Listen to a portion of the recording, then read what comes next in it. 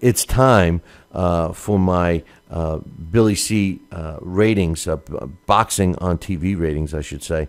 Um, so here's there's only one. It was ESPN. It was our 16th fight that we covered. Uh, it was the uh, Garcia Malignaggi uh, card. Uh, as far as the main event, event um, listen, despite it being a gross mismatch, uh, I had to score the Garcia Malignaggi fight a three, which is a satisfactory, uh, mainly, and this is only because Paulie Malignaggi has the heart of a lion. Other than that, the fight sucked on paper. It sucked to watch. Uh, it was just a terrible, terrible fight. I scored it uh, a uh, uh, a three, uh, which is satisfactory. Um, as far as the undercard, I score that a one. That's a poor. It's a one equals poor. Uh, Daniel Jacobs uh, is a joke. Uh, not only is he a joke, but he's a fraud. Um, this guy has not fought anyone, uh, and I thought Mora uh, would have been a legit test. I, I thought Mora uh, probably would have won the fight, uh, but uh, his fractured ankle put an end to that.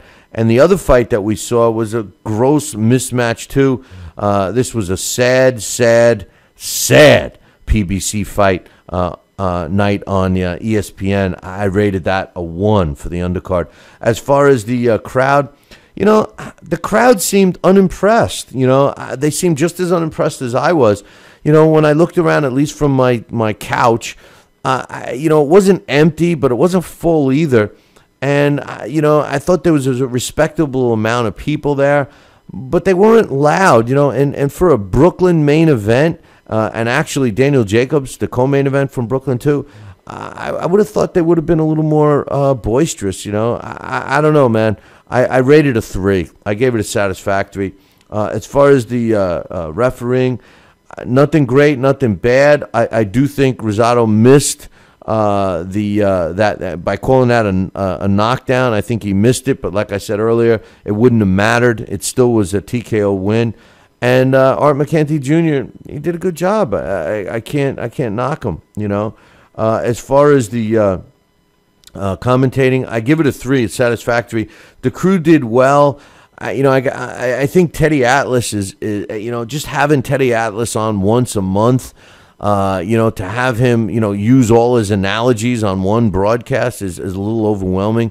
Todd Grisham sucks. You know, I mean, he's the worst. Why are they letting this guy be part of the boxing broadcast? I don't know. But listen, Rosie Perez, I love Rosie, man. How could you not like uh, Rosie Perez? But when you add it all up, I could only squeak out a three, a satisfactory. Uh, you total it up, it comes out to be 13, which averages out to 2.60, which gives uh, the broadcast an overall rating of uh, satisfactory, which uh, is what the 2.6 uh, uh, averaged out to. So uh, that's our uh, uh, boxing on TV ratings. Uh, if you want to check that out, you can go up to our website, www.billycboxing.com, and look under the ratings, boxing on TV ratings. So, um,